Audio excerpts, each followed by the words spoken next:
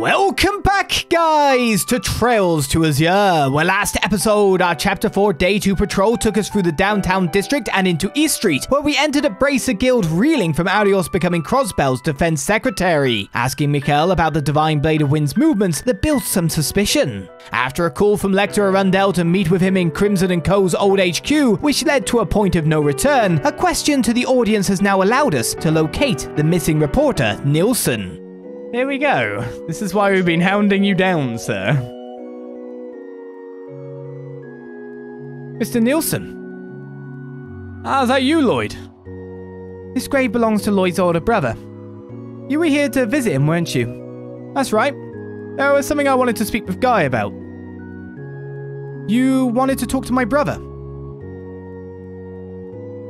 Yes, I wish to tell him about the raid, the Declaration of Independence, and President Croyce's speech. The people of Crossbell are all facing in a singular direction, irrespective of their own personal emotions. It is for that reason that I'm opting to go against the grain and ponder the darkness of the past instead. Darkness of the past? Do you mean. Yes, I do. I'm referring to the murder of your older brother, Detective Guy Bannings. I beg your pardon. Guy's death. Where's this coming from? And why now? Or are you saying there's never been a more perfect time? What exactly is it that you know, Mr. Nielsen? Hmm. Lloyd, Special Support Section. If you wouldn't mind, I'd like for us to head elsewhere so we can review that case together. How does that sound? Sure. Alright, if you're willing to, then so are we. Thank you for your cooperation. Just so happens that I have the perfect place in mind. Let's make our way back to the city. Quest Inside Scoop Guy Bannings has started.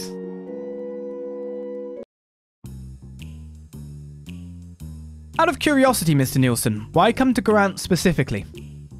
Three years ago, Guy and I agreed to meet here for another one of our friendly exchanges of information. It was shortly before that meeting when I learned of his death. Oh, that explains it. The secret behind the cult incident, the arrest of Imperial and Republican faction Diet members, the election of a new mayor, the inaugural meeting of the West Zemuria Trade Conference, the raid on Crossbell City, and now the declaration of Crossbell independence, while each of these events may appear isolated on the surface, in truth they are closely intertwined. In other words, they are all pieces of a much larger puzzle. A larger puzzle? Really? Yes, were one to unpack the bigger picture behind them, the rest of the pieces would surely fall into place. Doing so should shed new light on the murder of Guy Bannings. That is why I propose this case review. I understand, however, if you'd rather spare yourself the heartache, Lloyd. Nope, I'm all right. And as a player, I've been waiting for this for a very long time. It was the uh, one of the standout, not resolved plot threads of the original game. Of course, not all plot threads are to be resolved in a long-running series. But here we go. Lloyd, are you certain of that? Don't forget, time ain't exactly on our side today. We should get the show on the road. That's perfectly fine with me. Let us begin then. First and foremost, we should examine the conditions under which Guy's body was discovered. It was a rainy day, three years ago, at Orcus Tower's construction site. Time of death was estimated to be just past dawn, although the body was not discovered until later that night. As for the cause of death, it was hemorrhagic shock. A bullet from an orbital gun pierced him from behind, straight through the heart. Does all of that sound correct? Yes, that's right. He was shot in the back. Damn, what the hell? Now let us reconstruct the scene of the crime at the time his body was found. To begin, there were signs of fierce struggle throughout the area. However, the only physical evidence left behind was Guy's body itself. Not only was his favourite pair of tonfas absent from the locus Delicti, oh, I haven't heard that term before, the CPD badge that he so proudly wore on his chest was missing as well. We found that. I have come to understand that this badge was recently recovered, is it true that it was taken by a member of the organized crime syndicate known as Ravash? Yes, we found it in Marconi's office, and he later confirmed it.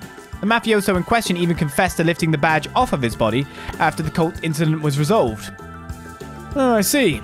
However, that was, as you said, after the fact as far as eyewitnesses go. There were none. At the time, construction work had been suspended and no staff were present at the site. The time of day and environmental factors were also unfavorable. It was the break of dawn, in the midst of a blustery thunderstorm.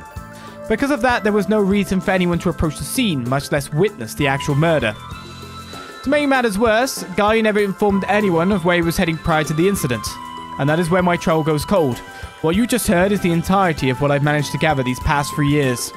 That is, unless you have anything to add, Lloyd. No, I don't think so. You covered everything I knew too. Mr. Nielsen's penchant for gathering information never ceases to amaze. Yes, though in this case it would seem Guy was not just a source to him, but a dear friend as well. That may explain why he has such a vested interest in a cold case like this.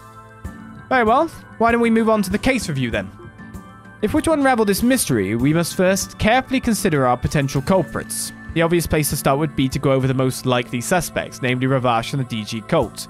Yeah, but no.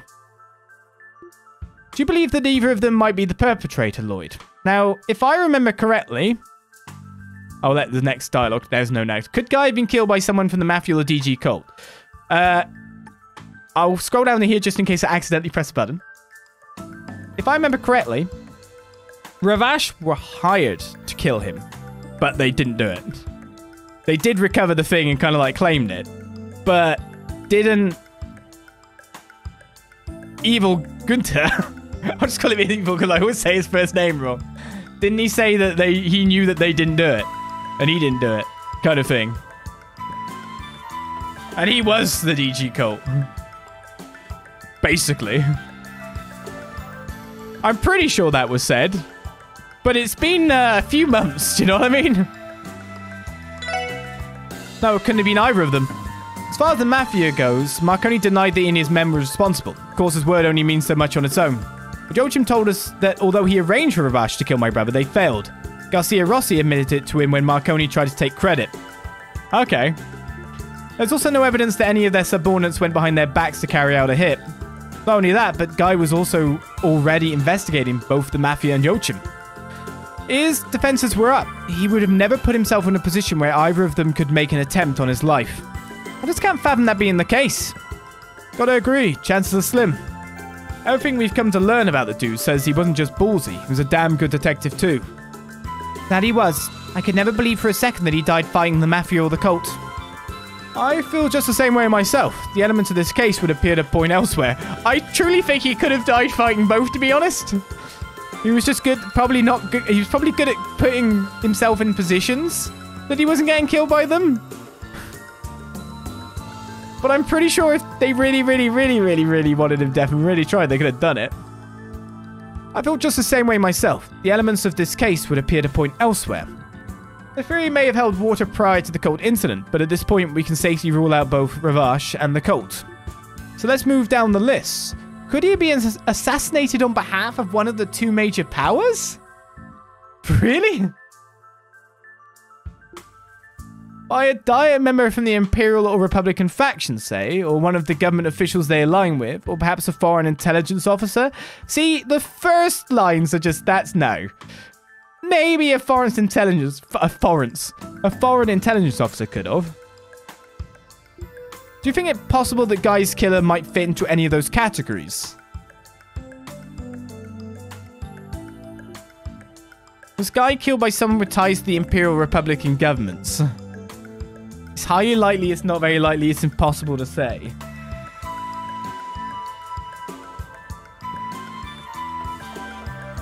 I mean, there's been absolutely nothing in the game so far to remotely suggest that that might be a thing.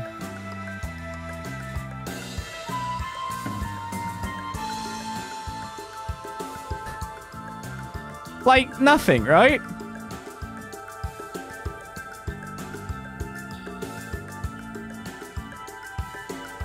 And I don't know if uh, the intelligence officers are A, that open to shooting people? That would kind of blow cover a little bit, though, to be honest, no cover was blown because we don't know who actually murdered him. I would err on the side of no, which would be, it's not very likely, I'm sure. On the, the basis of they've got bigger fish to fry than Guy Bannings. And Guy Bannings wasn't investigating them. Guy Bannings wasn't doing anything involving them. Why would they target Guy? I don't see a reason.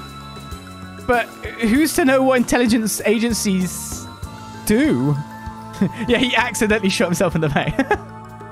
he fell on his gun backwards while pulling the trigger with a broken arm backwards. I don't know. But yeah, essentially, the way that he died is kind of telling of certain scenarios, right? No, I think that's pretty unlikely. It's true there have always been corrupt officials within Crossbell with ties to the two major powers, and it's also true that my brother was quick to push against the injustices they committed. Plus, we can now say for certain that spies from both countries were making frequent visits to Crossbell around that time. As much as I believed in my brother, he was in no real position to touch them. They couldn't have viewed him as a serious threat, yeah. Bigger fish to fry. Unfortunately, you're probably right. As much as I hate to admit it, either nation could apply tremendous pressure on the CPD through the state government if they really wanted to. Especially under the old administration when Guy was alive. It would have been far too easy. Yeah, it just doesn't fit. Why go to the effort of luring out and killing one single detective when bureaucratic red tape is effective enough as is? A high risk, low reward maneuver like that just wouldn't have been worth it, no matter how much of a thorn in their side he was. Hmm. Let's say, and I'm just talking hypotheticals here, that Lloyd's bro was in contact with one of those guys. He still wouldn't walk into an obvious trap. It's the same deal as the Mafia. I concur. Impressively deduced, I have nothing more to say on the subject. With that, let's move on to our final possibilities. Out of a sizable pool of potential suspects, you've eliminated every one of them so far. Yeah, to be honest, that's quite a large amount of people. Tell me then, who else do you suppose could fit the profile of Guy's killer? Someone from Ouroboros? Someone from the CPD? Or a personal acquaintance? All of these are super duper possible. so how do I narrow down between the three? if I were to narrow down from the three, I would basically say Ouroboros don't really do that. the weird thing about them is their body count. They're not really about the body count. They're about proving they're powerful, kind of having a little bit of a scuffle from you, then cutscene stuff happens, and then you go, well, I'll get you next time, Gadget, or something. They don't really go, except Walter, yeah, Walter was a bit. yeah, Walter was a bit Oh, OGT. Man, did he punt the stell in that anime. But still, it's not really their modus operandi. And to be honest, they'd probably just would they have left a body? That's actually another question. Would they have left a body? They are in more of a capable way of not leaving any evidence whatsoever as well. I don't believe it on Ouroboros just, just due to all my encounters of Ouroboros. Someone from the CPD is possible. The weird thing is that someone from the CPD and a personal acquaintance actually has overlap because it's basically the same thing. It's a colleague is a personal acquaintance too. Do you know what I mean? But the thing is, what's gone on here is that he's been shot in the back. And to, for a guy like him, who was a top detective, to have not noticed someone coming at him from behind there must have been something drawing his attention or at the front. So it's more than a one-man job. You could instantly tell.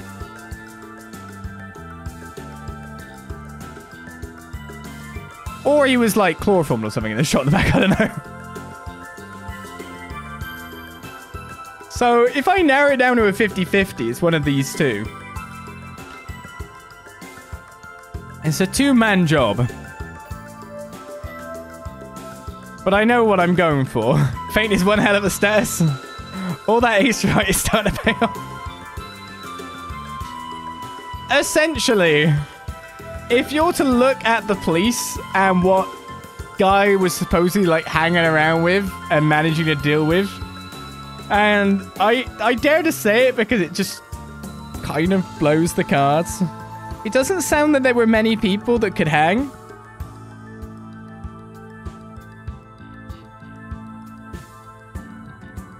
So you've got someone distracting him from the front that can hang, and then someone else shooting him in the back.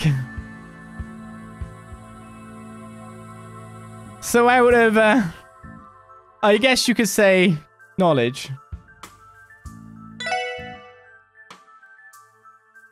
I was still wary of them, no doubt, but it had to have been someone he knew well. That's the only answer that fits. Someone he wanted to talk to, something, someone he'd completely drop his guard around. Huh? You serious? And what brings you to that conclusion? Well, first of all, Guy never revealed to anyone where he was going beforehand.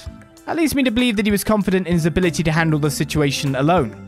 The only reason he could feel that way is if he were meeting someone he knew personally. But that's true. Whether Guy was asked to go there or whether the meeting was his idea is impossible to say.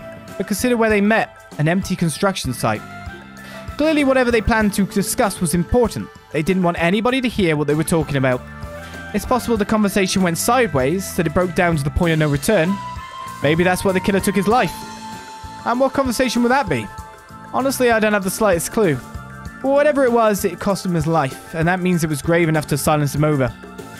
But I don't use these words lightly, but it might have been linked to a deep conspiracy of some kind.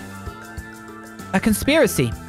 Uh, when we began this review, you said that unpacking the bigger picture could shed new light on the case. At that moment, I felt like something clicked, way in the back of my mind. Did you now? I can't get past the idea that my brother was closing in on some kind of secret plot. A plot concocted by somebody connected to the DG cult, the Mafia, the Empire, and the Republic, yet also separate from them. Whoever it was, they couldn't allow Guy to interfere. Chances are that conspiracy is still alive and well to this day. Doesn't that sound like the most logical explanation? Connected, yes, but also separate. And you say this conspiracy is still ongoing? It's hard to draw any other conclusion. The killer is still at large, after all. That fact alone is enough to tell me that whatever they killed Guy over is a long ways from settled. Mr. Nielsen? Sorry, was that too far-fetched? No, not at all. I think your reasoning is perfectly sound. Let me ask you this, Lloyd. As we were as we were reviewing this case, did any particular suspect come to mind? One who could in theory have called Guy out to that construction site and murdered him three years ago. Why are you fixated on one person? No, unfortunately not. To his credit, Guy was popular. Even if we narrow it down to those he knew personally, there's still a lot of people. There are also two other key details. His back was turned when it happened, and his tonfas were removed from the scene afterwards. I suspect that both of those facts are vital to figuring out what really happened that day. Okay, Lloyd's on it. And again, if that evidence alone was enough to identify the killer, the First Division would have solved this case three years ago. That's a fair assessment. Unfortunately, not every clue has been revealed, and so the culprit cannot yet be identified. However, I do think one thing has made itself very clear. The only person who can uncover those final missing pieces and solve this puzzle is you, Lloyd. Mr. Nielsen. Right, and I intend to do just that. Huh, glad to hear it. It's strange, I suddenly feel as though I've made good on my promise to share intel with Guy here three years ago. I owe you all my deepest gratitude for indulging me with this review session. Not at all. If anything, we should be the ones thanking you for this. You're too kind. Now, to excuse me, I greatly anticipate hearing about your future exploits, SSS. the lady at the bar go, What am I listening to? I get the sense that Mr. Nielsen was hoping to help us more than the other way around. He might be on something, Tio. Keeping his promise to my brother may have been his real goal. Glad we took the time to speak with him. I can't help but agree. You said it. Oh, come on. Let's get cracking. All that hashing out's got me fired up. Yeah, next stop, the Don's room in the old Ravash building. It's time to see what information we can drag out of Lechter. Inside scoop guy Bannings is completed. No, they didn't listen in, surely. Can I find him again now? I'm gonna go back and see, and to Crossbell News Service maybe. But yeah, essentially, we're told more, of course, by what's going on, and it's reiterated by Lloyd at the very end. What are the possible reasons for them to remove the evidence of, you know, I basically put the cat out of the bag there, the evidence of a guy's weapon versus removing Guy's body. You get me? It's because the weapons are very telling evidence. Oh, we didn't go back. We didn't get a scene here for talking about it. Someone's got new dialogue.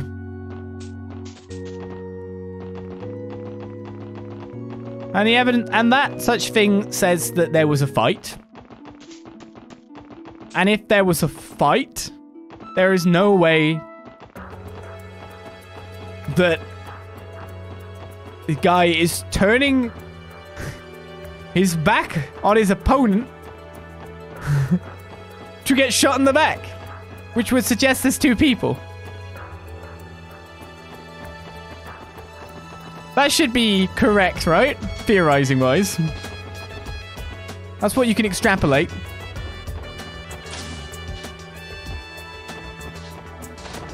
Where's he gone now? Where the hell has Nielsen gone?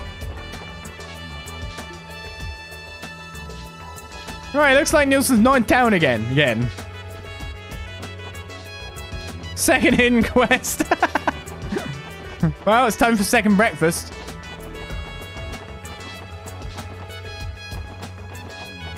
Maybe he's actually in the cathedral or something. Where could he have gone? He's gone to bed, let him rest. No idea where he went. I take it that means I can't find him then. It was the mother of all ricochets, the bullet, yeah? Sure, sure, sure.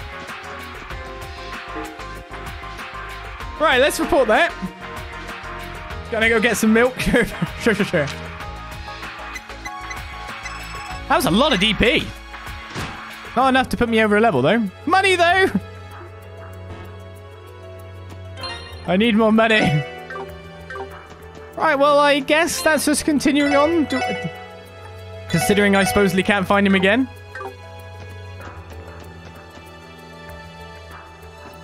But yes, not only that, it's it's just the fact that if the weapons were removed, then and the weapons themselves are evidence because of a fight.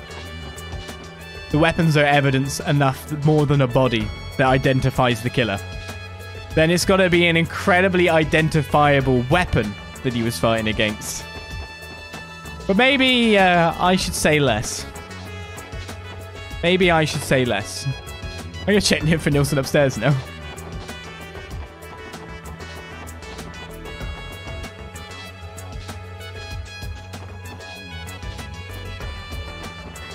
I just want to keep saying more. Must remember, it's the Phoenix Wright way, right? Don't let on to what you do know, because it's better if you play dumb for a Let's Play. Yeah, yeah, yeah. 100%. Right, I'm going to save here, and we're going to meet with... Lechter Arundel. Not so super spy. I think I did just save, by the way, but... We'll save again. Let's step through this door and see what more we can learn about our situation, because if an Imperial spy is here and has managed to get in, what's going on? Supposedly, I won't be able to do anything for quite a while, so... Let's find out what goes on!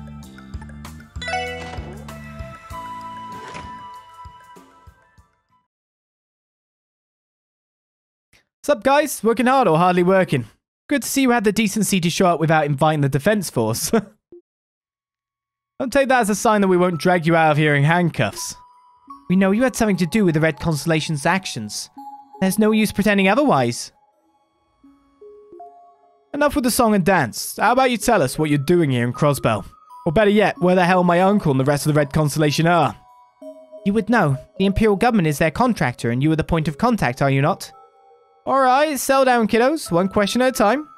First off, I took the early train from the Empire here just this morning. Old man Giliath's orders, if that wasn't obvious to you. The Blood and Iron Chancellor. For what purpose? Well, before I get into all that, there's a little nugget of info I think you guys would rather know first. The Imperial Army is planning to invade Crossbell this afternoon. Shock. What? We're not falling for that. Actually, I wouldn't doubt it. The way things are heading, he just might be telling the truth for once. Are they going to go straight through Belgard Gate? Yep, there's an armored division ready to go at Garrelia Fortress. We heard about the movements. It's just one, sure, but I think you know how it'll go. Yep.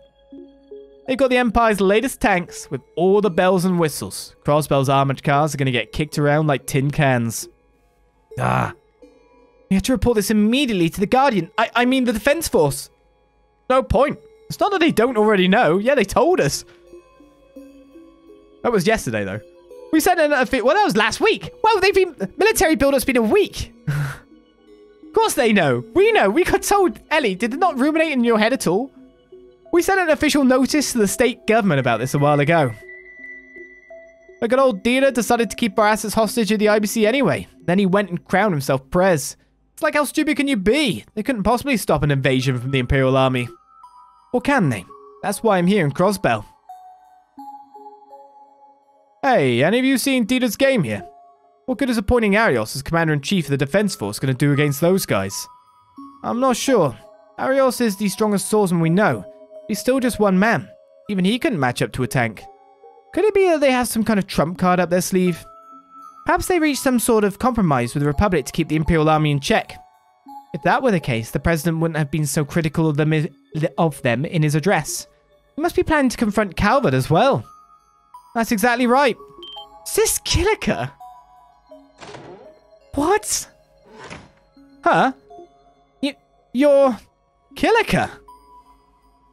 A pleasure to see you again, SSS. And you as well, Captain Arundel. I do apologize for my tardiness. Eh, don't sweat it. We were just getting started. So how are things going on your guys' end? Smoothly, more or less. As of now, an armored aviation division has been deployed to the outskirts of Altair. The, the Republican Army is on the move too? We literally heard they were doing exercises! armored aviation division? You mean they're ready to attack from both the sky and the ground?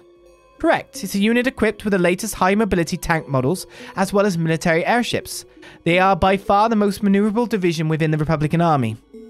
You've got to be kidding me. That makes this a pincer attack from both major powers. Between a rock and a hard place, to say the least. It doesn't take a political pundit to understand what brought about this situation. Even so, Dieter Croyce refused to compromise, opting instead for drastic action. What he intends by it, however, is just about anyone's guess. There's one more piece of this little puzzle we've got going. So here, I'll go ahead and answer that second question you had. Second question. You mean about where the red constellation is? Yeah, it's a pretty simple answer. You ready? I don't know. No one does. Not even the Imperial government has any clue. That, that can't be. Why spend so much time building up a response just to admit you never had one? So what? You're telling us that you had them tear Crossbell inside out and just let him off the leash after? Actually, hold on just a second. We know the Red Constellation had a contract with the Imperial government at the time of the trade conference. They were hired to kill the terrorists who were targeting the Chancellor's life. Isn't that right? Bingo. I guess you must have heard it straight from the military monster's mouth. Then, this is just a hunch, but could it be that the Imperial government's contract with him ended the moment the terrorists were out of the picture? What? That would mean... I don't like where this is going. Not gonna lie, Lloyd. That detective's nose of yours would be pretty useful in my line of work. If only we were a bit rougher around the edges. Th then was I right? Yeah, nail on the head. The Imperial government hasn't had any contact with the Red Constellation since the trade conference. I thought it was pretty weird they didn't pack up and leave Crossbell as soon as our contract was over. Even I was shocked they decided to paint the town red the way they did. No way. Then why would Uncle Sigmund and the others pull something like that? Could they have signed a new contract? With the Society, perhaps? I find that unlikely. During the Liberl incident, the Society had a fleet of foot soldiers they referred to as enhanced Jaegers. If they were to launch a full-scale attack on Crossbell, I'm certain they would have used what is already at their disposal. That makes more sense. In other words, there would be no need for them to outsource the job to another corps. That lets us narrow down the list of suspects. Given the circumstances, it'd only be natural to assume that the attack was by order of the Imperial government, which is a misconception our guilty party stands to benefit from. Moreover, they would also need the funds to enter a long-term contract with one of the highest-ranking corps on the continent. It can't be. Sounds like you got the picture. At times, the truth can be found in the very last place we wish to. Uh, hold on a moment. Are the two of you suggesting... There's only one suspect we know who ticks all those boxes. Wait, wait. Maybe we shouldn't be jumping to conclusions. Lechter, Kilika, thanks for telling us all of this. I know this is a difficult spot, given your positions. We'll take it from here. We should... Hello, this is Bannings from the Special Support Section. But thank goodness it finally went through. Lloyd, it's Cecile. Cecile? You sound frantic. What's going on? It, it's Arios. He came to the SSS building just now. Arios was there? Yes, and then he... He took KeA away with him. What? I tried to stop him, but KeA, she... Actually, this will be easier to explain in person. Could you come back as soon as you can? We'll be right there, Cecile. Stay put and wait for us. What's going on? You look like you just saw a ghost. Arios went to the SSS building and took KeA away with him. The hell? Why would he do such a thing? We have to get back to the SSS building right away. Kilika, Lechter, sorry, but we've got urgent business to take care of. Of course. Be careful. Good luck, guys.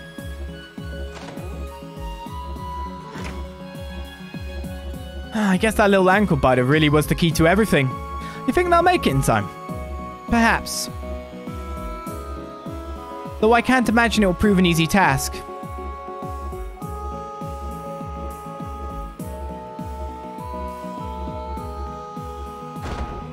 Cecile! Lloyd! Tell us what happened to KeA. You said she was taken by Arios. It's true. Arios came by all dressed up in his new white uniform. He said that he'd come to pick her up, and she just nodded. You're kidding? Mikito went with him willingly. That's the way it seemed to me. I thought it was strange that she would leave without letting any of you know, so I tried to stop her. But KeA told me that it was fine. Zeit was agitated, but KeA's words seemed to calm him down. Speaking of Zeit, he doesn't seem to be around. He wandered off on his own after those two left. I assume he was trying to follow them, but I couldn't say for sure. What in the world is happening? Could it be that she had plans with Shizuku today? I thought that might have been the case, but it didn't appear to be. What Arios said, it seemed as if they were heading to Mishelam. Mishelam? Yes, he mentioned having a boat prepared. Where else could their destination be if not the resort?